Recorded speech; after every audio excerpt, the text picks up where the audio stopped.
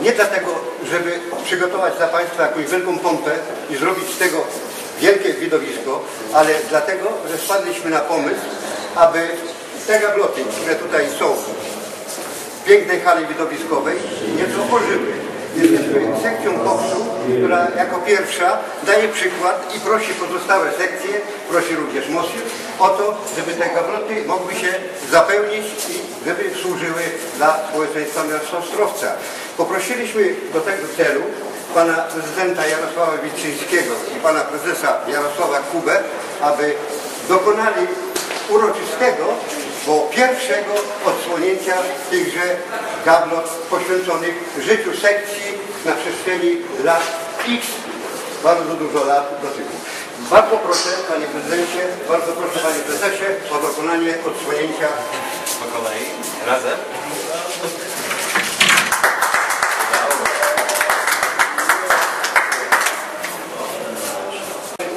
Drodzy Państwo, że to jest tylko wierzchołek góry lodowej e, trofeów, które posiada nasza sekcja bokserska. Niestety nie możemy wszystkich wyeksponować. E, Wybraliśmy tutaj najciekawsze. E, Tutaj widzimy trofea e, sprzed wojny i z wcześniejszych lat. Tu są ostatnie, z ostatnich dwóch lat. Myślę, że i chciałem tutaj z tego miejsca podziękować bardzo panu Jerzemu Zajączkowskiemu, który e, naprawdę poświęcił dużo czasu i pracy, aby, aby stworzyć e, te nasze gabloty.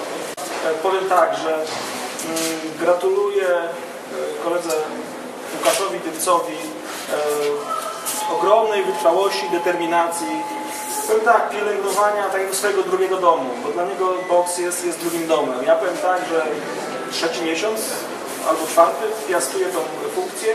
I powiem szczerze, była to osoba, która namówiła mnie do tego, żeby podjąć się, no myślę, że zdajecie sobie sprawę bardzo trudnego zadania, bo to jest bardzo interdyscyplinarne, każda dyscyplina rządzi się swoimi prawami, e, w związku z czym no, trzeba, trzeba e, poświęcić e, się tym wszystkim dyscyplinom. Natomiast zaczynałem swoją pasję w tym okresie teraz od właśnie boksu, ponieważ zawsze e, pasjonowałem się boksem jako mały bajter, z tatą tu przychodziłem i cieszę się właśnie, że bo od też boksu zaczyna się e, wypełnianie tych gabel, bo faktycznie e, jest wiele trofeów, które posiada Krzor na przestrzeni wszystkich swoich lat i myślę, że w tym roku przynajmniej tak będziemy chcieli zrobić, żeby wszystkie sekcje mogły wyeksponować po prostu to, czym są bogate, czyli zwycięstwami, sukcesami. No,